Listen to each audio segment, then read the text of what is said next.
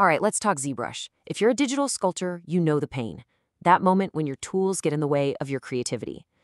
So today, we're going to dive deep and find the absolute best laptop for ZBrush in 2026. The goal? Less waiting, way more sculpting. Let's get into it. And this quote, man, this just hits the nail on the head, right? We have all been there. You're in the zone, you're laying down those final perfect details, and then lag. The brush stutters, the model just won't rotate. It's the ultimate creative flow killer, and it proves that a fancy spec sheet can totally lie to you. So let's start by breaking down the core issue here. See, ZBrush is, well, it's a unique beast. It doesn't act like a video game or even a lot of other 3D apps. Its performance is tied to a really specific set of hardware needs that you won't always see in the big, flashy marketing. And that's exactly why we're here. We're going to cut right through all that noise, forget the marketing buzzwords. We are focusing on what actually gives you a smooth, responsive sculpting experience based on how ZBrush really works under the hood. So what's the secret sauce? Well, it really just boils down to four key components. Four things that are absolutely crucial for a lag-free workflow in ZBrush. Getting these right is the difference between a machine that just flies and one that fights you every single step of the way. First, and honestly, this is the most important one, the CPU. Now, unlike rendering engines that can use dozens of cores, many of ZBrush's core sculpting operations lean heavily on the speed of just a single processor core. This means a CPU with a really high clock speed is going to feel way faster in ZBrush than one with a ton of cores that are all running a little bit slow. Next up is memory, your RAM. The best way to think about it is like your digital sculpting table. The more complex your model gets, you know, high subdivision levels, tons of subtools, detailed textures, the more table space you need. If you don't have enough RAM, the whole system just starts to bog down, and it gets bad fast. Okay, what about the graphics card? Here's the thing. You don't necessarily need the absolute most expensive top-of-the-line GPU out there. What you do need is a modern, stable GPU that can handle a high poly viewport without turning into a slideshow. Being able to smoothly rotate your model, well, that's just non-negotiable. And finally, we've got storage. A fast NVMe SSD is absolutely essential. This is what makes sure your projects, your brushes, and all your assets load in a snap. It just keeps your whole system feeling quick and responsive. And just to really hammer that memory point home, if you take one number away from this section, make it this one, 32. For any serious ZBrush work in 2026, 32 gigabytes of RAM is the absolute minimum you should even consider. Honestly, 64 is even better if you're working on some crazy complex production asset. All right, with those four keys in mind, it is time for the main event.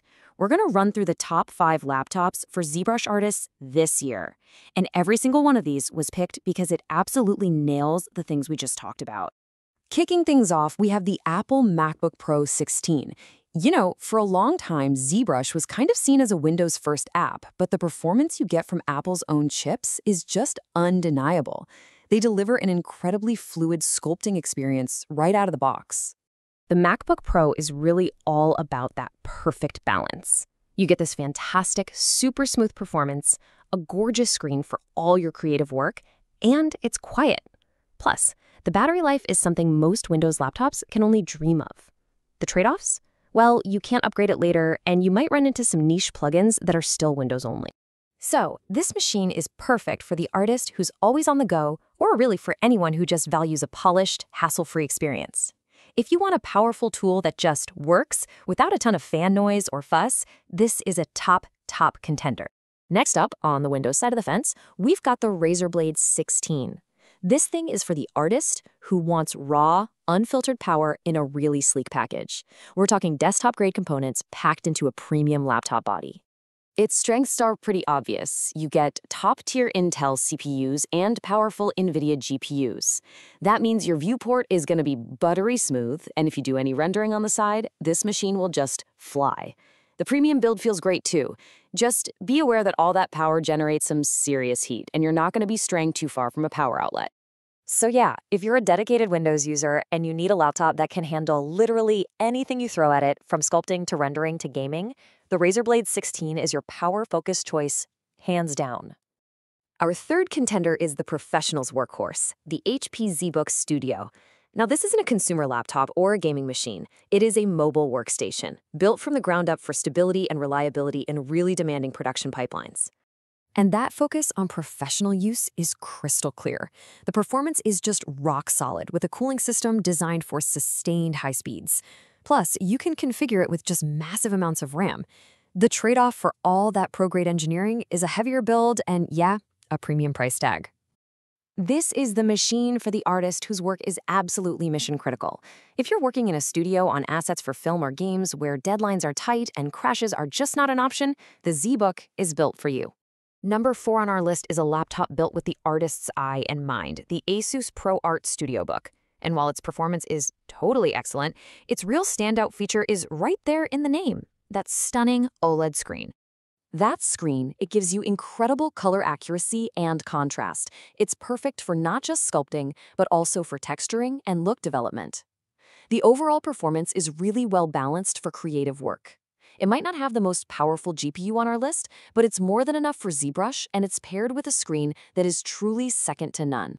So if you're an artist who does it all on one machine, sculpting, painting, texturing, final presentation, and you demand the absolute best visual fidelity possible, the ProArt Studio Book should be right at the top of your list.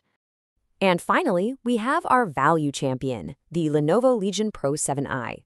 This laptop is all about one thing, delivering the maximum amount of performance for your money. It's a total powerhouse that often comes in cheaper than its competitors. You want to know the secret to the Legion's success? It's a fantastic cooling system. It lets those high-end components run at full speed for long periods without throttling, which is a huge win for ZBrush. The downsides are pretty much what you'd expect. It's big, it's heavy, and that battery is not going to last very long. This is the perfect choice for the artist who has a home studio or a dedicated desk space.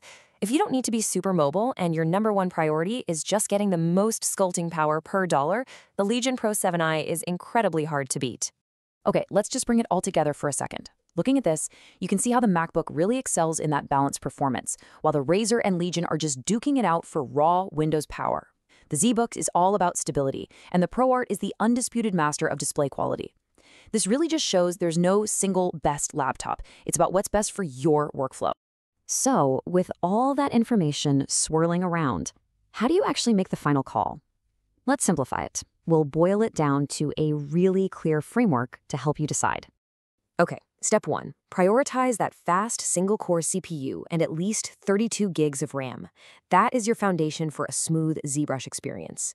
Step two, choose a modern, stable GPU that actually fits your needs. You really don't have to overspend here. And finally, step three, remember that a great, color accurate display and good cooling will make those long sculpting sessions so much more enjoyable and productive. Ultimately, the best laptop is the one that just disappears, the one that lets you focus completely on your art. It's a tool that should feel like an extension of your own creativity.